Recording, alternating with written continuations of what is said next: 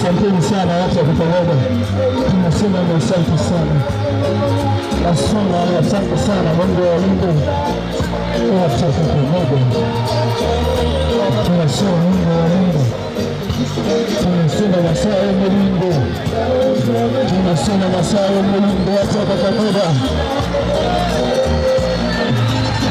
Profesa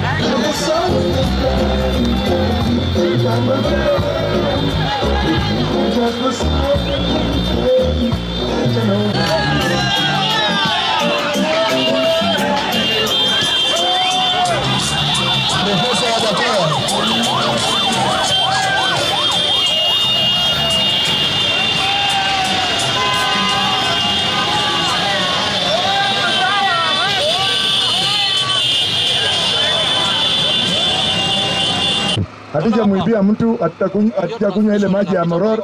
Na kuna watu hapa Kakamega, Mumburi Range, kuna wale watu ambao wana campaign wakitumia pesa ya wizi.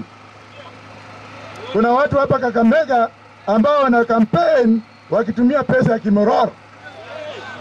Kuna watu hapa Kakamega wana campaign wanatumia pesa ya sukoro.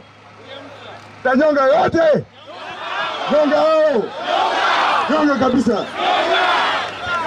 Juzi wamejaribu kunihonga mimi, wakatumatuma watu, wakatuma Wahindi, wakapiga bei, wakapiga bei, wakapiga bei ya ndevu, wakakuta hiyo ah, kama kama elfu hamsini. Walengo kuma kambi hiyo mdomo ni kubwa, hiyo inaweza kuwa karibu 500,000 sasa akanipiga bei tena baada kufika kai ndio baada ndio nanya na kula kama na ngabarando bali. kila mtoto mmoja akizaliwa atakuwa bei hii. Sasa akanipiga bei ya elfu mia mbili dola nini Kenya shilingi milioni mia mbili ya Kenya. ngoe free. Alafu hapa watu wengine wanakuja kutupanga sisi.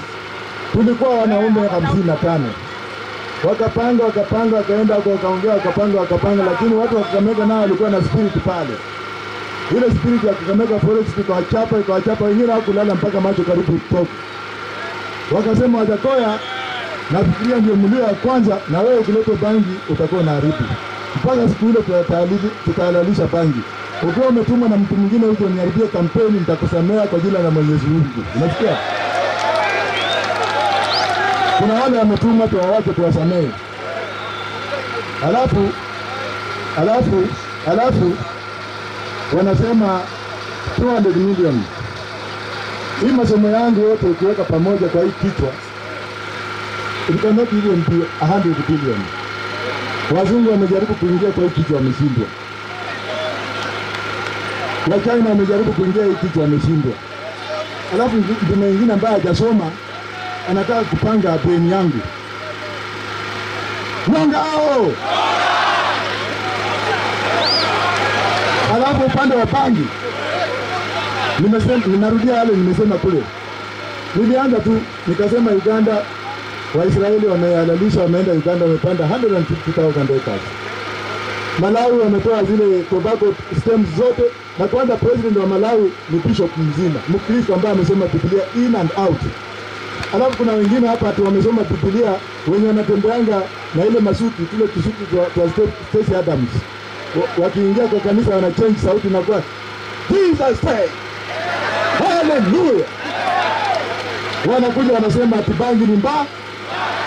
Bishop mzima wa Katoliki kutoka Nyeri yeye anasema watoto wataharibika na bangi. Kwani wewe ndio na anasanga kile mtoto tunajuanga anawekanga nyuma? Tumchunguze wewe bishop, labda amezalisha watu hapa. Makanisa yote ni sawa, lakini huyu mtu tumbo kubwa anaitwa sijui nani, macho kubwa, amekunywa whisky, tumbo imekuwa kubwa, aende kule. Unajua nini? Ukienda hata Israeli leo, mahali Yesu alizaliwa na Mungu akazaliwa huko, walihalalisha bangi. Yesu pia alitumia hiyo bangi. Kweli rongo?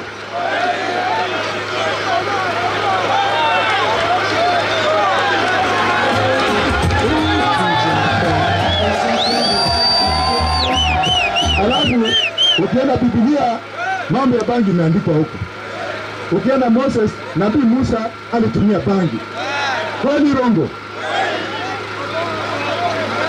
Unakumbuka wakati ya enzi ya wazungu, Mungu akuja na Biblia huku na kisu pande hii, anapata wewe, anaipa shamba yako, anaweka kanisa. anakuambia sasa, wewe bangi ni mbaya, sigareti ni mzuri, tanga ni mbaya, whiskey ni mzuri eh? na tobako imeuza imeua watu wengi kushinda- bangi.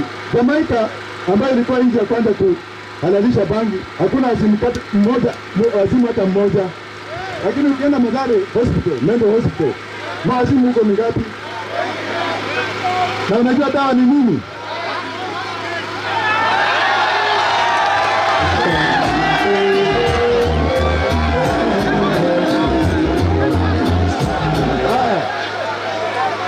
Hapa hakuna mtu mgonjwa, hata huyu si mgonjwa, lakini huyu ile bangi anavuta nimba, yuko bangi kutoka Bunyore.